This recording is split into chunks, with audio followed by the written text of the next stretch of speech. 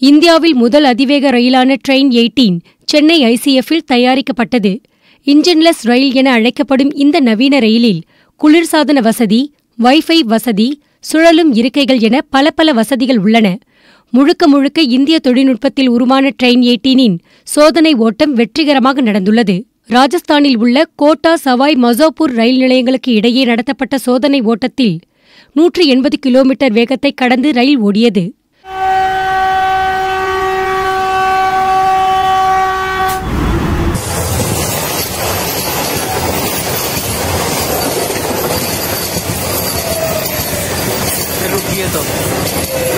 சோதனை ஓட்டத்தின் போது எந்த தொழில்நுட்ப கோளாறும் ஏற்படவில்லை.